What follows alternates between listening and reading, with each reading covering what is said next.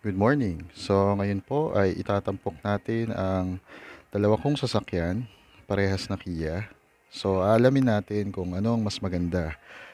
Kung ang Kia Soluto 2020 o ang ating 2015 na Kia Rio. So itong Kia Rio natin ay 2015 model. So, EX automatic din siya. So ang soluto natin ay EX automatic din. Pareha silang 1.4 engine. Pero magkaiba ang kanilang output at efficiency. So sa labas, tignan natin kung anong mas okay sa inyo. So kita nyo naman, ito ang labas ng ating Kia Soluto. So, 14 inch mags. Mas maliit kumpara mo sa Rio. So, ito yung likod niya.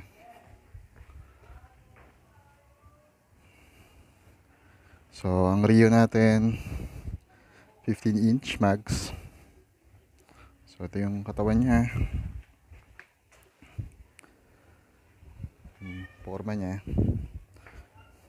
Para sa akin, mas maganda yung hugis at saka forma ng Kia Rio lalo na sa gilid. Side mirrors pa lang.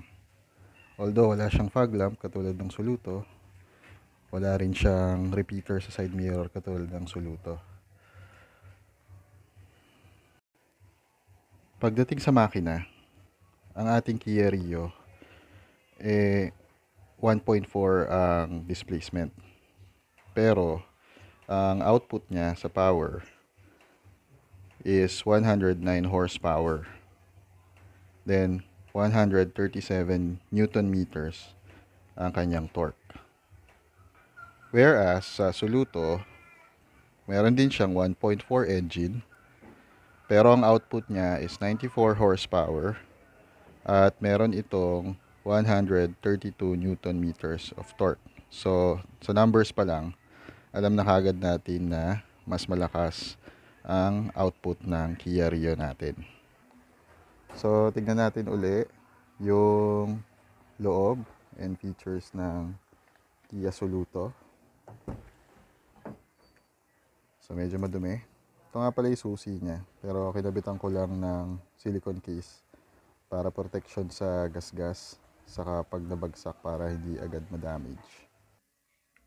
So ngayon, nasa loob na tayo ng ating Kia Soluto makikita naman natin. So, first of all, uh, meron siyang leather seat covers. Stock na yan sa EX model. So, meron siyang mga chrome trim and piano black trim sa mga air vents niya ng aircon. Nakikita mo dyan. So, dual airbags din to. So, ito nga pala itsura ng handle ng pinto.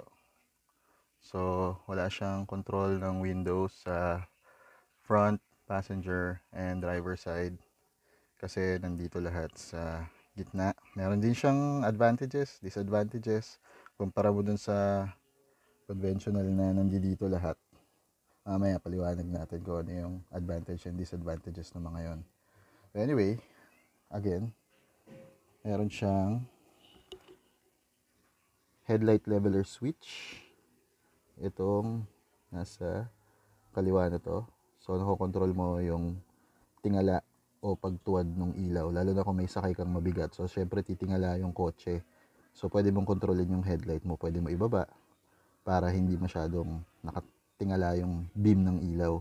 So, ito yung sa nating control, which is yung uh, ating side mirror control sa salamin lang. Power side mirror yan. So, hindi siya auto-retract.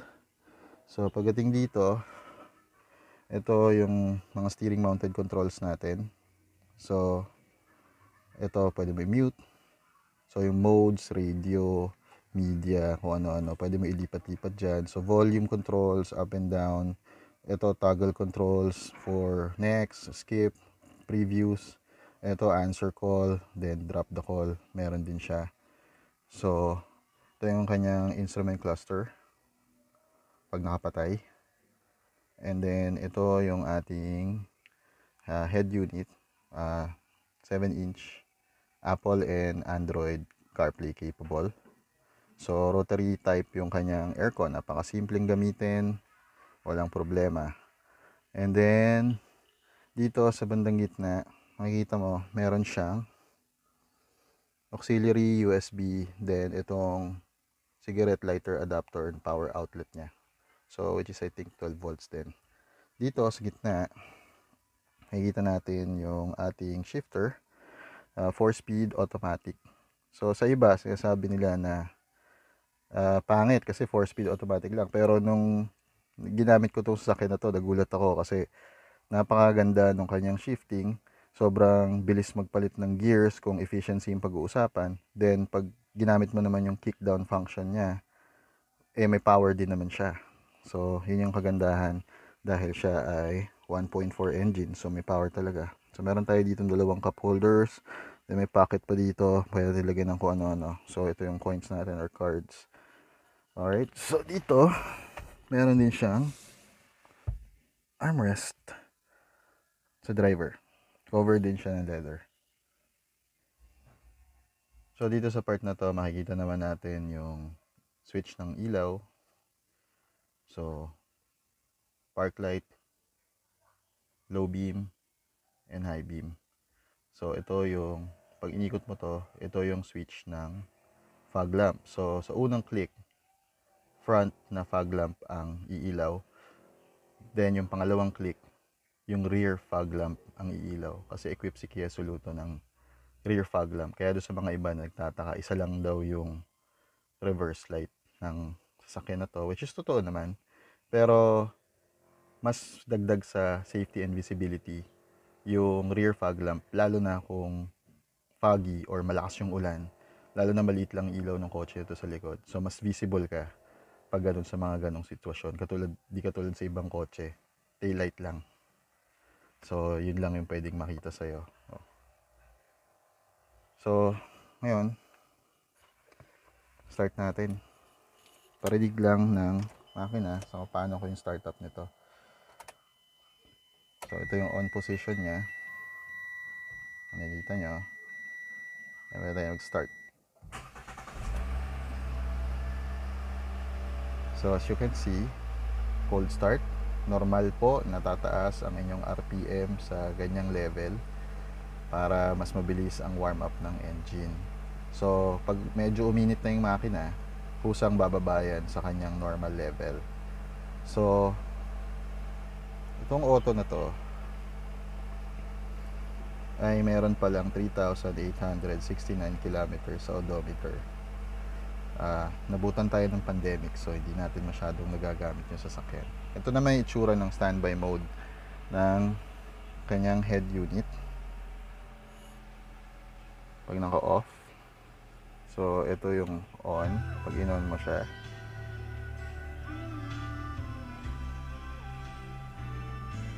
So, meron nga pala siyang meron siyang 6 speakers. So, tagi-isa sa bawat pinto. So, isa sa kabila sa dito passenger side. Then dalawa sa likod. Plus meron siyang tweeters. So, yung nasa may side mirror na yan, tweeters yan. So, maganda naman yung tunog ng speakers ng Soluto. Pagdating sa Spotify, kailangan lang tama yung setup mo. Kasi pag mali yung setup mo, parang ang pangit ng tunog niya. Para siyang tunog lata. Pero pag nakuha mo yung tamang settings, maganda rin siya. May bass siya. Talagang yung tamang settings lang kailangan natin. So, lipat na tayo sa Kia Rio. So, alamin natin kung ano ba yung mga iba ron. So, eh teka, may nakalimutan na akong pakita sa inyo. Ah, makita mo, nakasabit lang yung dashcam ko. Maaraw kasi, so tinatanggal ko yan. Kasi nasisira karaniwan yan yung spring sa loob pag sobrang init, pumuputok. So, para maiwasan mo yung sira na yon, tatanggalin mo lang siya kung nakabilad sa araw yung parking mo. So, yung nakalimutan ko pakita, ito nga pala. So, sa driver side, wala siyang vanity mirror. Diba? So, sun visor lang siya. Well, sa passenger side, meron naman. Pero, kita ba? Sobrang glare.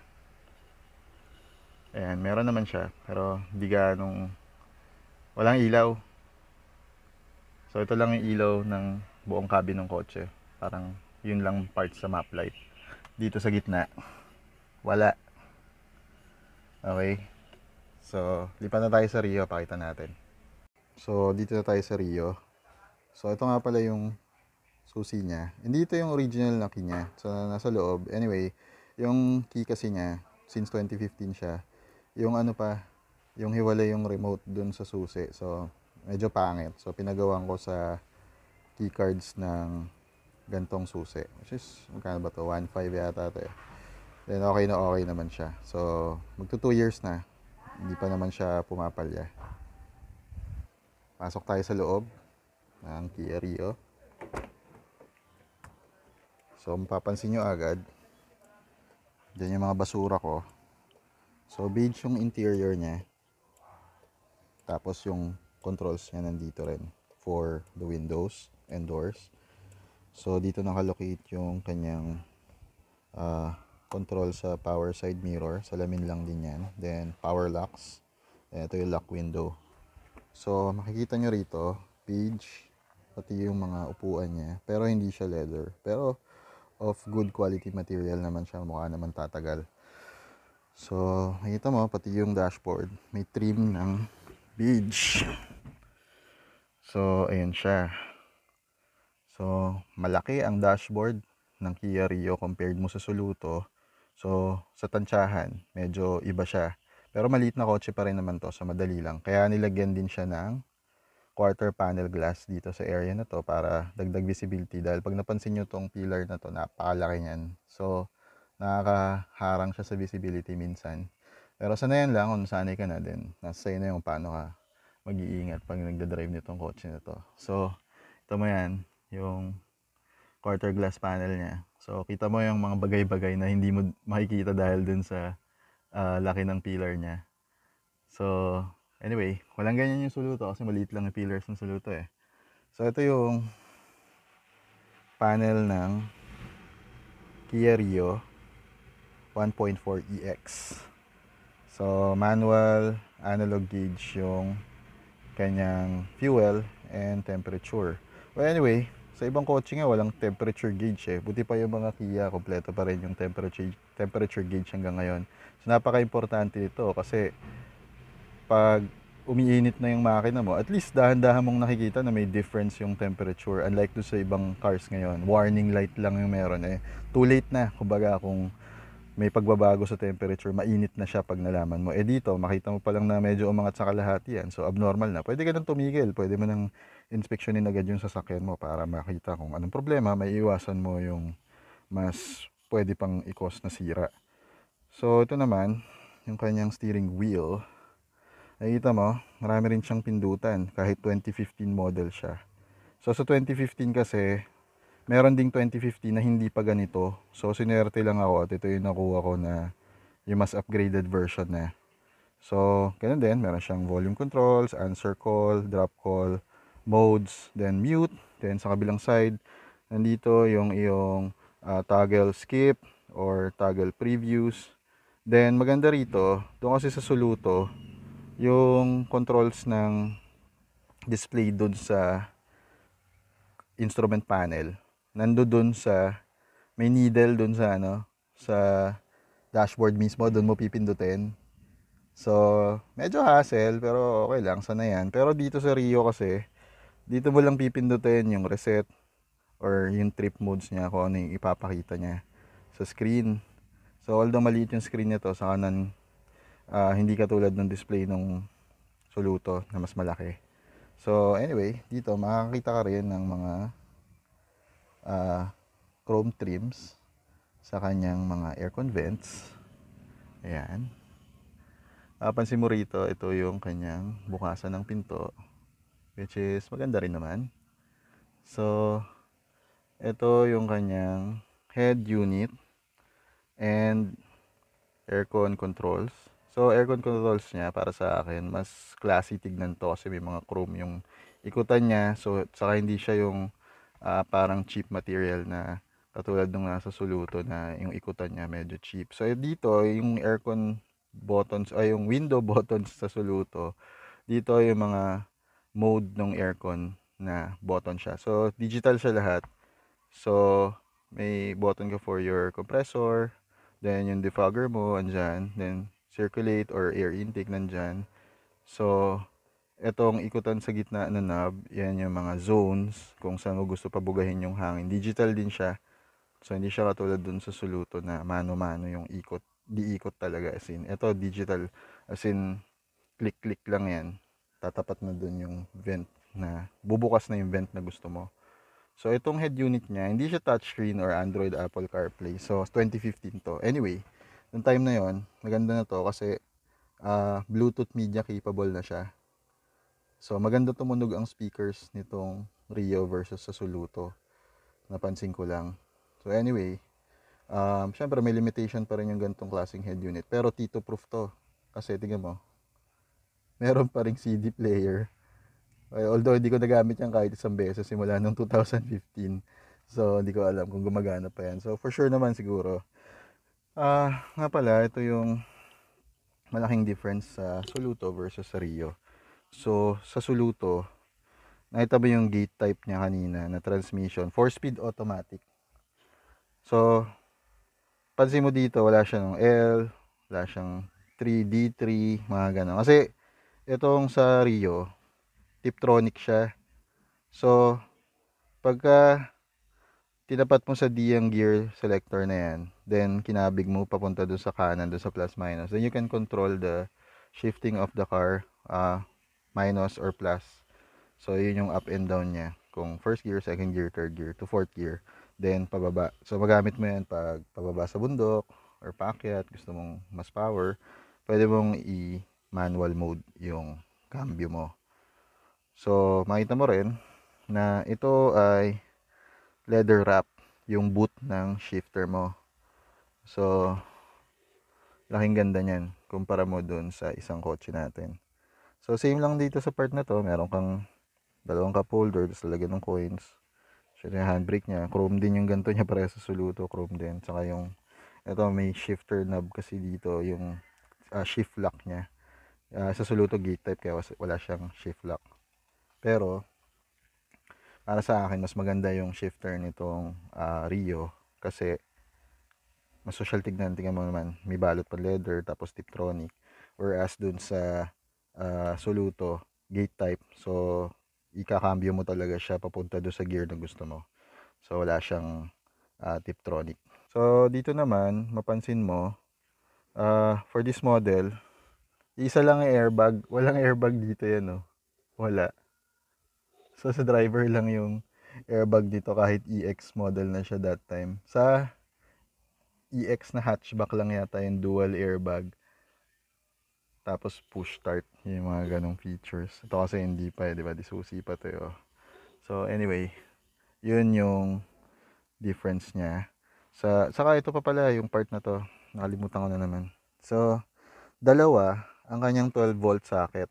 So, meron siyang aux at USB. Sa suluto, isa lang.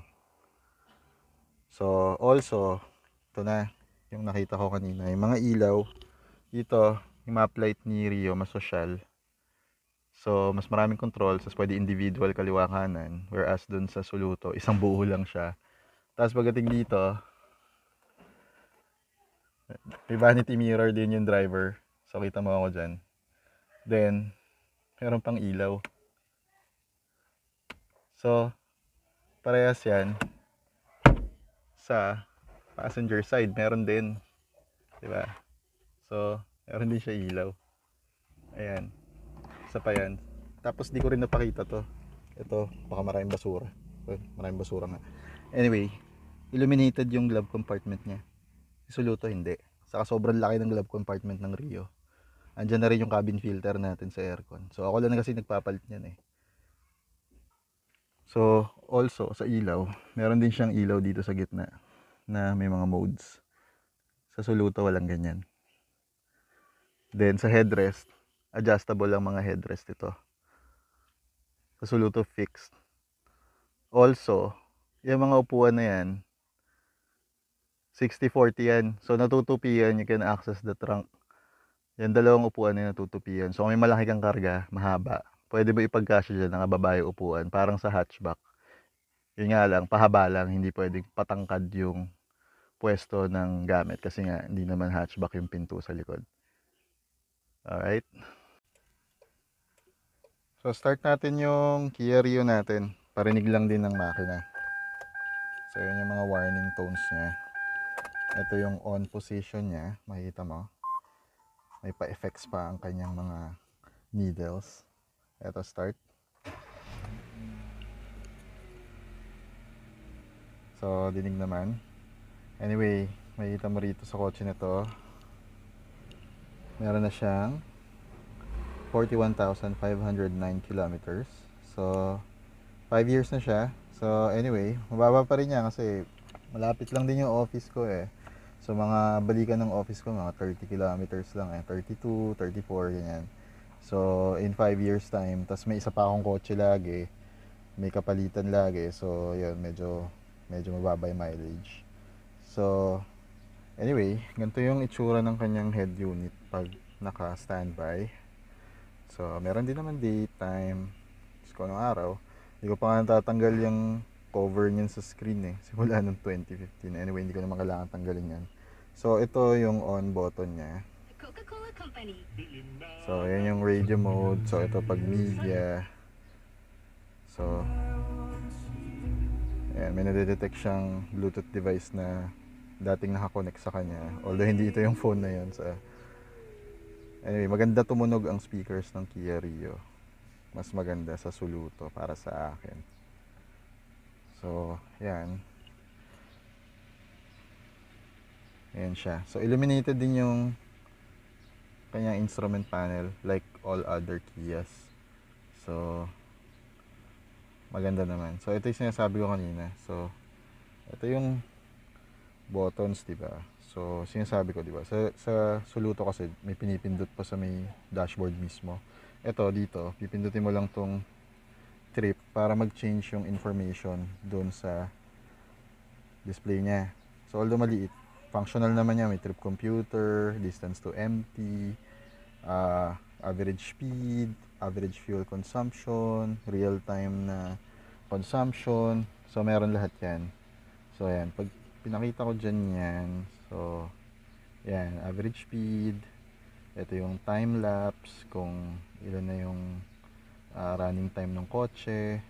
Then, ito yung temperature outside. Wala rin sa soluto na ganyan.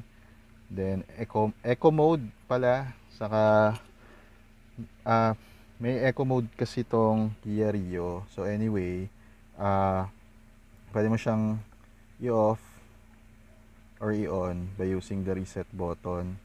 So, nilimit lang naman niya yung revs din kung yung shifting points, yun naman yung idea niya para magtipid ng fuel.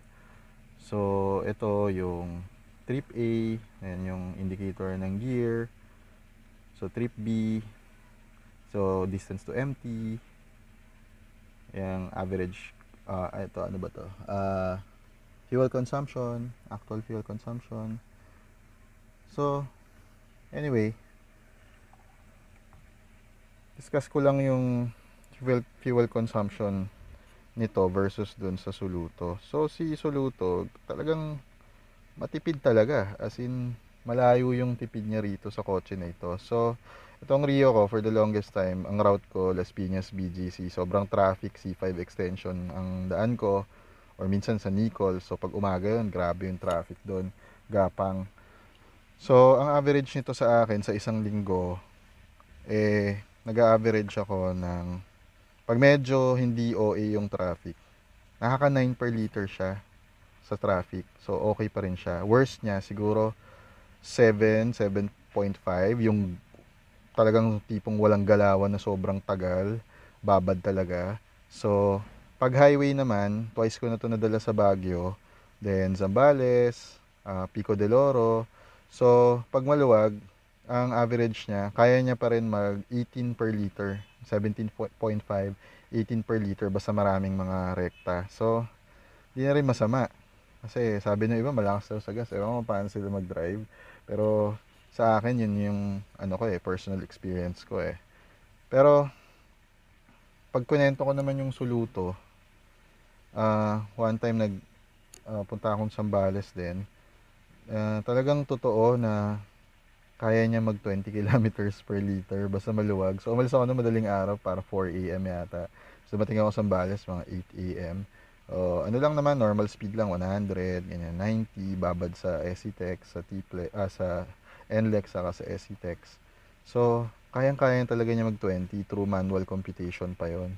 So ang city drive naman niya, so nung pinapamasok ko siya ah, ng suluto to ah, ah, umaabot siya ng um, minsan 11 per liter pag medyo ah, hindi light traffic lang. May traffic pero hindi grabe. So nakaka 11 per liter siya. Worst niya is 9 per liter, yung tipong walang galawan.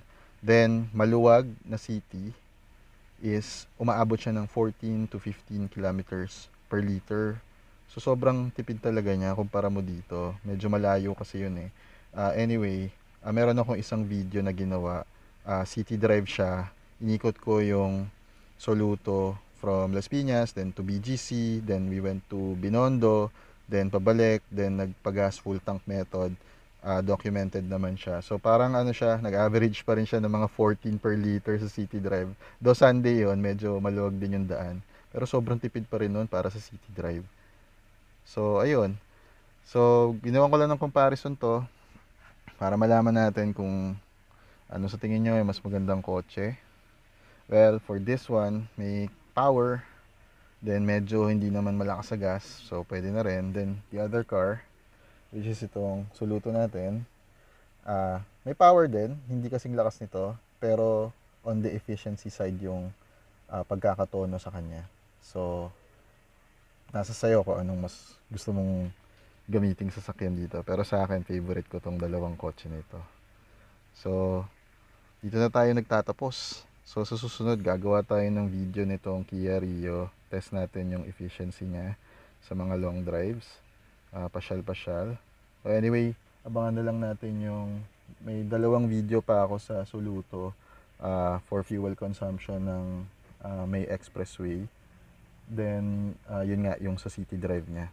So, paki abangan na lang and then please if you can subscribe so pag dumami yung subscriber mas gaganahan tayong gumawa ng mas marami pang video na may patungkol sa kotse salamat po